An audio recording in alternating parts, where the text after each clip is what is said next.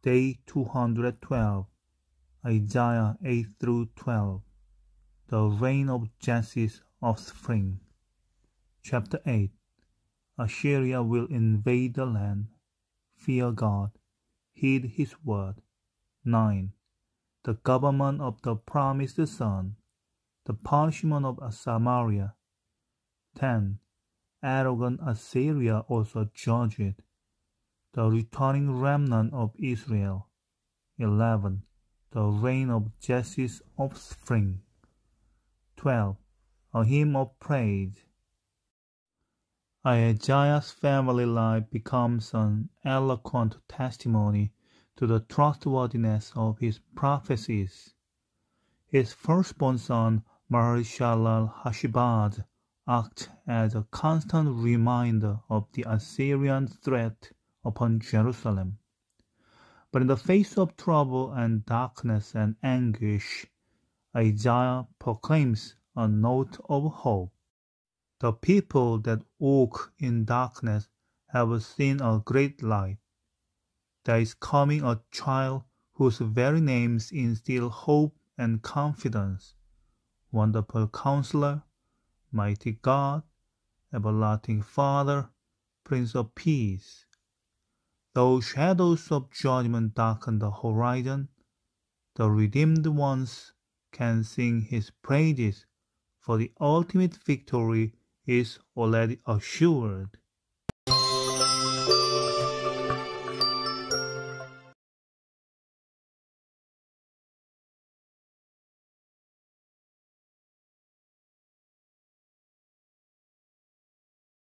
Eight.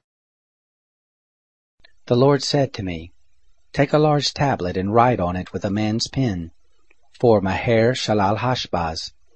And I will take to me faithful witnesses to record, Uriah the priest, and Zechariah the son of Jeberechiah.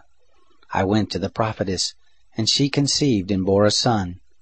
Then the Lord said to me, Call his name Maher-shalal-hash-baz, for before the child shall have knowledge to cry, My father and my mother, the riches of Damascus and the spoil of Samaria shall be carried away before the king of Assyria.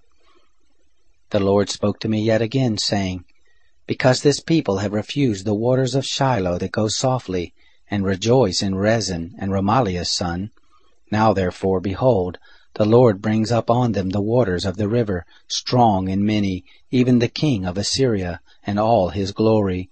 And it shall come up over all its channels, and go over all its banks, and it shall sweep onward into Judah. It shall overflow and pass through. It shall reach even to the neck, and the stretching out of its wings shall fill the breadth of your land, Emmanuel. Make an uproar, O ye peoples, and be broken in pieces, and give ear, all of you far countries. Gird yourselves and be broken in pieces. Gird yourselves and be broken. Take counsel together, and it shall be brought to nothing. Speak the word, and it shall not stand, for God is with us. For the Lord spoke thus to me with a strong hand, and instructed me not to walk in the way of this people, saying, Don't you say a conspiracy, concerning all whereof this people say a conspiracy, neither fear their fear, nor be in dread of it. The Lord of hosts, him shall you sanctify, and let him be your fear, and let him be your dread. He shall be for a sanctuary, but for a stone of stumbling, and for a rock of offense, to both the houses of Israel, for a gin and for a snare to the inhabitants of Jerusalem.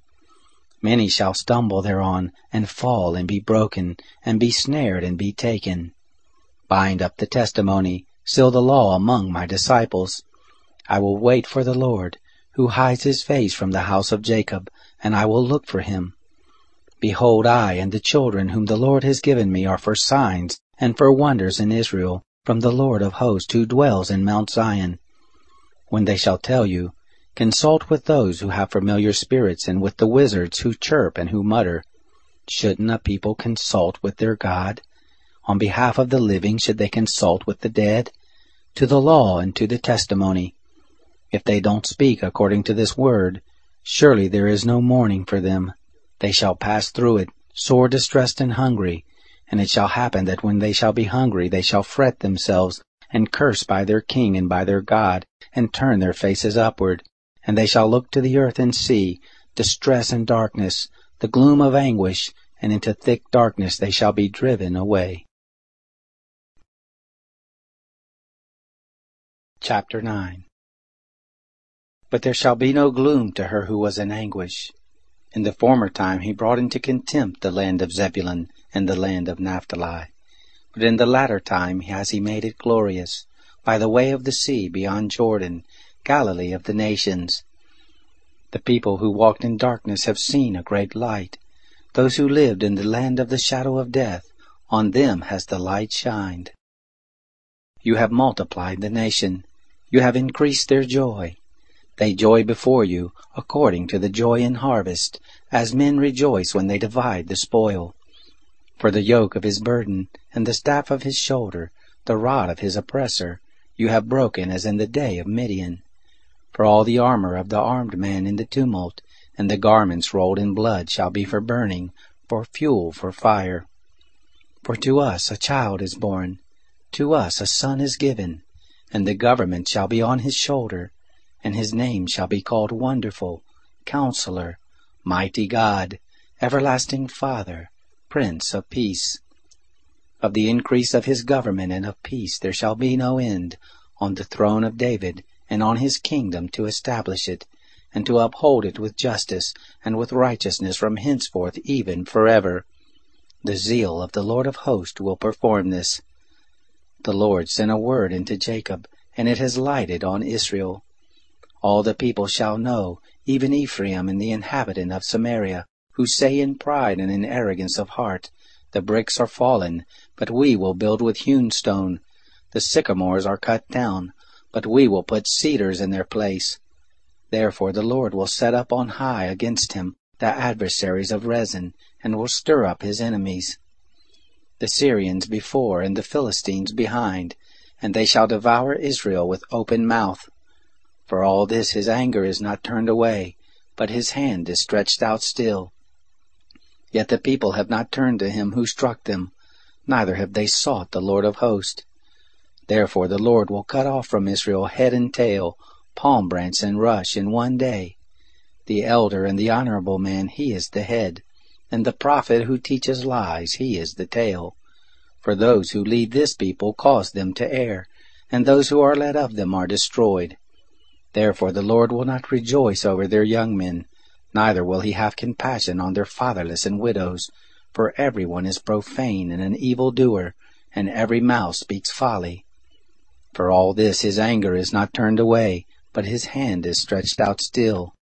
For wickedness burns as the fire, it devours the briars and thorns, yes, it kindles in the thickets of the forest, and they roll upward in a column of smoke.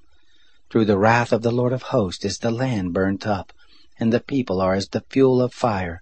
No man spares his brother. One shall snatch on the right hand and be hungry, and he shall eat on the left hand, and they shall not be satisfied. They shall eat every man the flesh of his own arm. Manasseh, Ephraim, and against Judah. For all this his anger is not turned away, but his hand is stretched out still.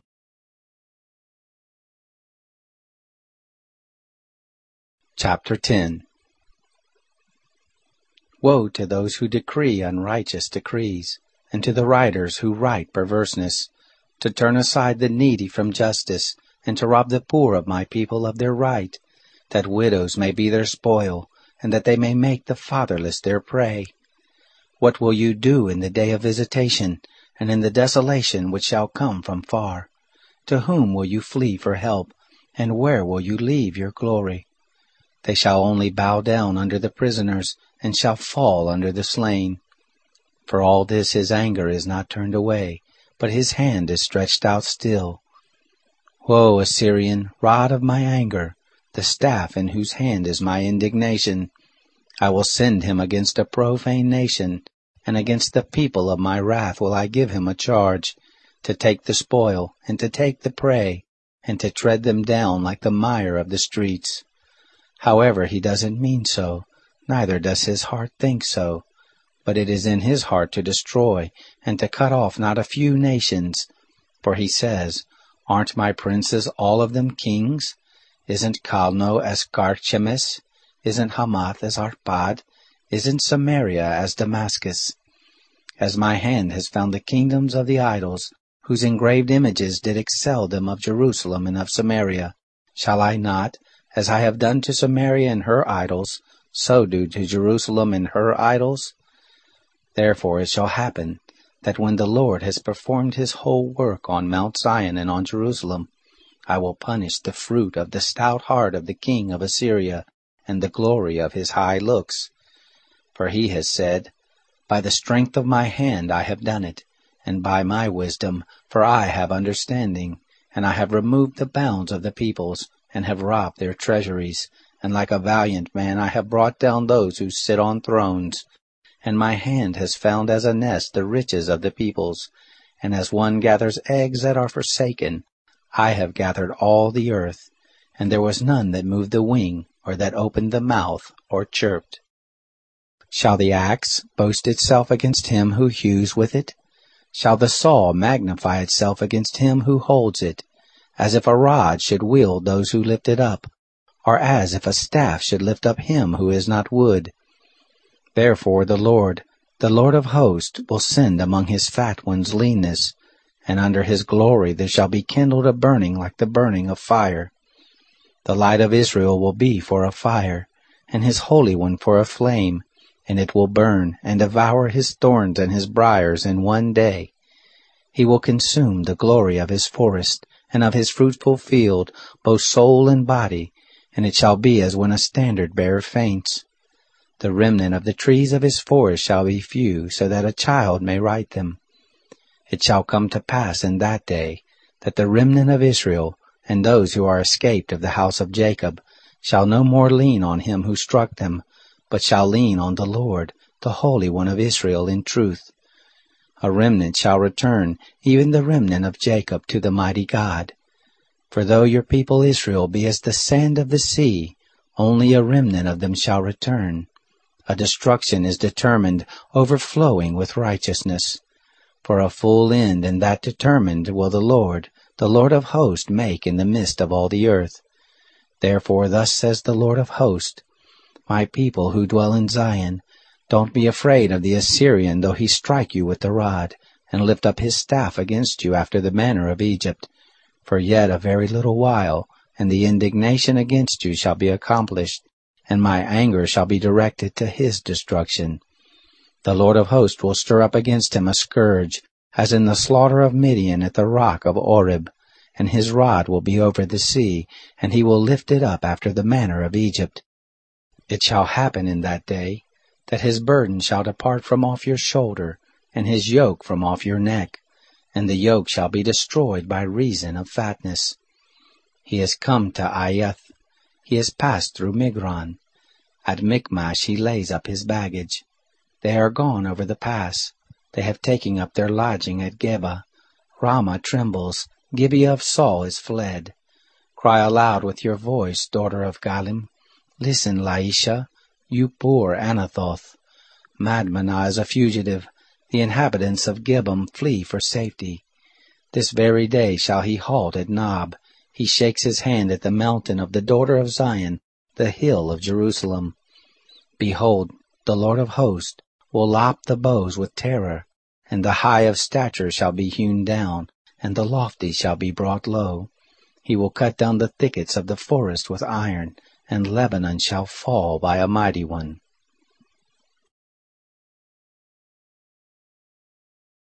Chapter 11 There shall come forth a shoot out of the stock of Jesse, and a branch out of his roots shall bear fruit. The Spirit of the Lord shall rest on him, the Spirit of wisdom and understanding, the Spirit of counsel and might, the Spirit of knowledge and of the fear of the Lord. His delight shall be in the fear of the Lord, and he shall not judge after the sight of his eyes, neither decide after the hearing of his ears. But with righteousness shall he judge the poor, and decide with equity for the humble of the earth. And he shall strike the earth with the rod of his mouth, and with the breath of his lips shall he kill the wicked. Righteousness shall be the belt of his waist, and faithfulness the belt of his loins. The wolf shall dwell with the lamb, and the leopard shall lie down with the kid, and the calf and the young lion and the fattened calf together, and a little child shall lead them. The cow and the bear shall feed, their young ones shall lie down together, and the lion shall eat straw like the ox. The sucking child shall play on the hole of the asp, and the weaned child shall put his hand on the adder's den. They shall not hurt, nor destroy in all my holy mountain. For the earth shall be full of the knowledge of the Lord, as the waters cover the sea. It shall happen in that day, that the root of Jesse, who stands for an ensign among the people, to him shall the nations seek, and his resting place shall be glorious. It shall happen in that day, that the Lord will set his hand again the second time, to recover the remnant of his people who shall remain, from Assyria, and from Egypt, and from Pathros, and from Cush, and from Elam, and from Shinar, and from Hamath, and from the islands of the sea. He will set up a sign for the nations, and will assemble the outcast of Israel, and gather together the dispersed of Judah from the four corners of the earth. The envy also of Ephraim shall depart, and those who vex Judah shall be cut off. Ephraim shall not envy Judah, and Judah shall not vex Ephraim. They shall fly down on the shoulder of the Philistines on the west. Together they shall despoil the children of the east, and they shall put forth their hand on Edom and Moab, and the children of Ammon shall obey them. The Lord will utterly destroy the tongue of the Egyptian sea, and with his scorching wind will he wave his hand over the river, and will strike it into seven streams, and cause men to march over in sandals. There shall be a highway for the remnant of his people who shall remain from Assyria, like as there was for Israel in the day that he came up out of the land of Egypt. Chapter 12 In that day you will say, I will give thanks to you, Lord, for though you were angry with me, your anger has turned away, and you comfort me. Behold, God is my salvation. I will trust and will not be afraid. For the Lord is my strength and song, and he has become my salvation. Therefore with joy you shall draw water out of the wells of salvation. And that day you will say, Give thanks to the Lord, call on his name, declare his doings among the peoples, Proclaim that his name is exalted. Sing to the Lord, for he has done excellent things. Let this be known in all the earth. Cry aloud and shout, you inhabitant of Zion, for great in the midst of you is the Holy One of Israel.